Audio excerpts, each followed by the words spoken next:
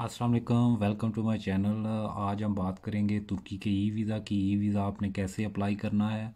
मैं अपना visa apply करने लगा था तो सोचा आपके लिए भी वीडियो बना दूँ। तो वीडियो को आपने आखिर तक देखना है। इसमें मैं कंप्लीट आखिर तक वीज़ा अप्लाई करूँगा और ये वीज़ा तकरीबन 10 से 20 मिनट में आपको अप्रूव होके वापस ईमेल आ जाती है। सबसे पहले आपने गूगल पे लिखना है ई वीज़ा तुर्की।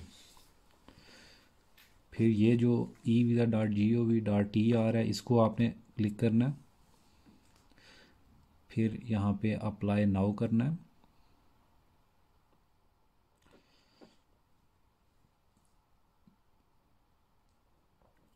यहाँ पे आपने अपना पासपोर्ट सेलेक्ट करना है, आप किस कंट्री से हैं। जहाँ का आपका पासपोर्ट है, वो आपने सेलेक्ट करना है।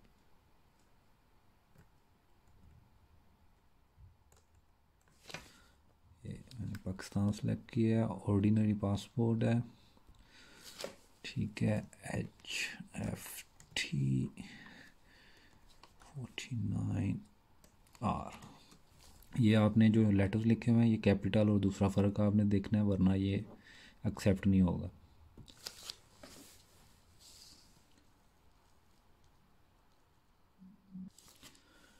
यहाँ आपने डेट सेलेक्ट करनी है। जिस डेट को आपने तुर्की में इंटर होना है। और इसी डेट से ये वीज़ा वैलिड होगा, उससे पहले ये वैलिड नहीं होगा और ये 180 दिन तक इस डेट से लेकर वैलिड होगा। फिर आपने सेव एंड कंटिन्यू कर देना आगे ये ऐसे ओपन होगा। ये सारी इसकी रिक्वायरमेंट्स हैं, ये आपने पढ़ लेनी है। ये पहले आपने सेलेक्ट करनी है। एक चीज़ आपने याद रखनी है कि ये वीज़ा सिर्फ़ टूरिज़म और बिज़नेस पर्पज़ के लिए है। अगर आपने किसी और वजह से जाना है तो उसके लिए आपको कौंसलेट से वीज़ा लेना पड़ेगा। ये आपने सेलेक्ट करना है। ये सारे ऑप्शन आपने सेलेक्ट करने हैं। उसके बाद सेव एंड कंटिन्यू फिर आगे ये ऐसे ओपन होगा। यहाँ पे आपने अपनी सारी डिटेल्स डालनी है। ये आपने यहाँ पे अपना फ़र्स्ट नेम पासपोर्ट के मुताबिक, यहाँ पे सर नेम यहाँ डेट ऑफ़ बर्थ आपने सेलेक्ट कर लेनी है। प्लेस ऑफ़ बर्थ यहाँ पे मदर नेम यहाँ पे आपने अपनी मदर का पूरा नाम लिखना है, यहाँ फादर का पूरा नाम लिखना है, यहाँ पे आपने अपना पासपोर्ट नंबर लिखना है, यहाँ से आपने पासपोर्ट की जो इशू डेट है वो ऐसे सिलेक्ट कर लेनी है, जो ईयर है, यहाँ से आगे पीछे हो जाता है। यहाँ से फिर आप मंथ सेलेक्ट करेंगे तो नीचे डेट्स आ जाएँगी, वो डेट आपने सेलेक्ट कर लेनी है। एक्सपायरी डेट भी पासपोर्ट की ऐसे ही है बिल्कुल। फिर यहाँ पे आपने टाइप ऑफ़ सपोर्टिंग डॉक्यूमेंट्स लिखने हैं। अगर आपके पासपोर्ट पे वीज़ा स्टैंप हुआ है तो आपने वीज़ा सेलेक्ट करना है। अगर आपके पास जो ई वीज़ा कंट्रीज़ हैं, उनका रेजिडेंस परमिट है तो आपने रेजिडेंस परमिट को सिलेक्ट करना है। यहाँ पे आपने अपने रेजिडेंस परमिट का नंबर लिखना है। इटली में रहने वाले हैं, जो उन्होंने सजोर्नो नंबर है, जो वो लिखना है, ये सारी सजोर्नो की डिटेल आप यहाँ पे। यहाँ पे सजोर्नो का नंबर लिखना है। मैं फिल इसलिए नहीं कर रहा, मैं अपनी डिटेल्स नहीं शेयर कर सकता सबके साथ। प्लस आप भी कोशिश किया करें, अपनी पर्सनल डॉक्यूमेंट्स डिटेल्स किसी को ना दिया करें। मैं फिल करके आगे का ऑप्शन में आपको दिखाता हूँ साथ ही।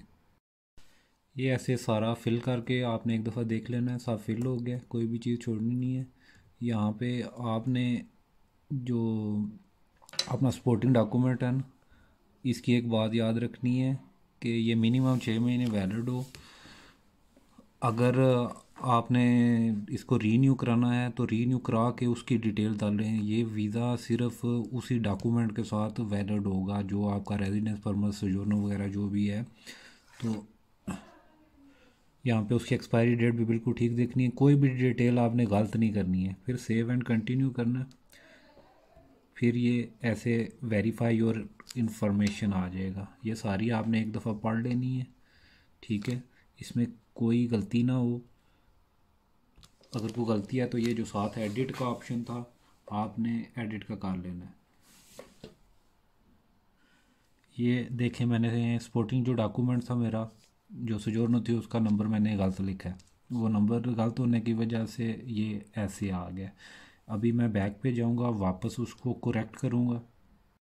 वो मैंने ठीक किया तो अब इसको मैं आगे कंटिन्यू करूँगा। यहाँ पे आपने ईमेल एड्रेस फ़ोन नंबर अपना और ये सब ठीक लिखना है।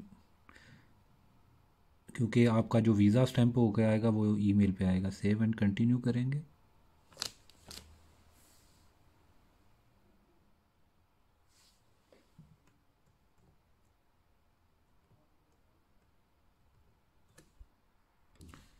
आगे ये ऐसे ओपन हुआ है, ये सारी आपकी डिटेल्स आपने सही तरह देख लेनी है। अगर कोई गलती है तो आपने ये एडिट का ऑप्शन दबाना है, अगर ये ठीक है तो इसको वेरीफाई कर लेना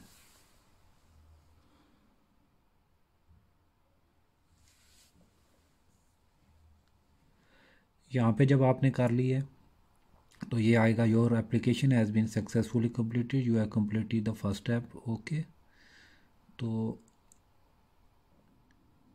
ये आपको जो ईमेल आई है, वो आपने ओपन करनी है।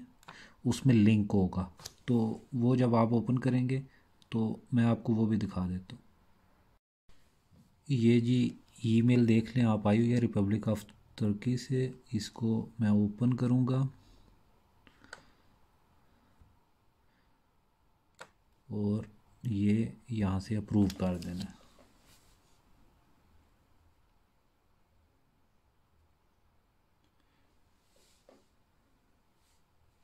उसके बाद ये ऐसे ओपन होगा। इसकी साठ डॉलर फ़ीस है plus one point five service charges है। तो ये इकसठ डॉलर में आपका ये वीज़ा हो जाएगा। यहाँ पे आपने अपना कार्ड सेलेक्ट करना है। यहाँ पे कार्ड का नंबर आपने लिखना है। कार्ड का नंबर यहाँ पे लिखना है। ये जो है, यहाँ पे जो कार्ड के पीछे तीन इंसे का बैंक कार्ड के पीछे नंबर होता है, वो लिखना है। यहाँ पे आपने कार्ड की जो एक्सपायरी डेट है, वो लिखनी है।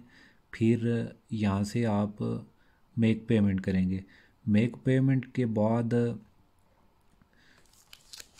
आपकी जब पेमेंट ओके हो जाएगी, उसके बाद आपको कंफर्मेशन ईमेल आएगी। प्लस तकरीबन पंद्रह से बीस मिनट में आपको वीज़ा वापस आ जाएगा। मैं अभी आपको उसके बाद वीज़ा भी दिखाता हूँ। ये जी, इस तरह की ईमेल आएगी आपको। Your e visa is ready ठीक है? आपने यहाँ पे सिलेक्ट करना है। ये मेरा पुराना वीज़ा था, उसका मैंने ओपन किया है 2019 में ये लिया था।